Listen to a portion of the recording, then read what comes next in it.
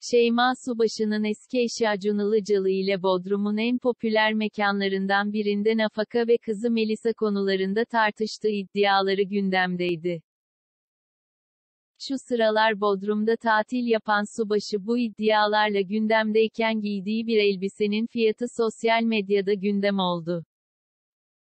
2018 yılında Acun Ilıcalı ile boşanan Şeyma Subaşı her yaptığı hareketle ve lüks yaşantısıyla gündeme geliyor.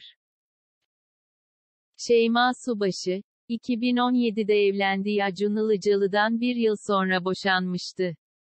Subaşı'na 115 bin TL yoksulluk, Melisa'ya ise 10 bin TL iştirak nafakası olmak üzere her ay 125 bin TL ödeniyor.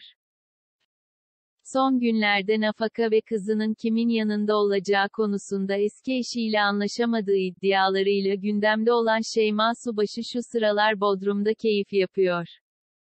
Tatilinden paylaşımlar yapan ünlü fenomen giydiği elbisenin fiyatıyla şoke etti. Tam 35 bin TL olan elbisesiyle pozlar veren Subaşı sosyal medyada yine adından söz ettirdi. Acun Ilıcalı'nın eski eşinin elbisesini görenler bu kadar para edecek ne özelliği var, yorumlarında bulundu.